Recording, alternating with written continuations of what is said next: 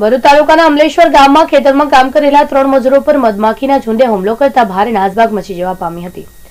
મધમાખીના ઝેરના ડંખથી ત્રણ મજૂરોને ઈજા પહોંચી હતી. ભરૂચના અમલેશ્વર ગામના ખેતરમાં મજૂરો કામ કરી રહ્યા હતા. તે વખતે મધમાખીના ઝુંડે હુમલો કરતા મજૂરોએ ભારે બૂમાબૂમ કરી નાસભાગ મચાવી હતી.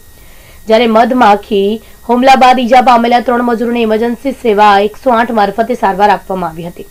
જ્યાં એક પાસઠ વર્ષીય રામસિંહ નામના મજૂરની તબિયત લથડતા તેને સારવાર માટે સિવિલ હોસ્પિટલ દાખલ કરવામાં આવ્યા છે.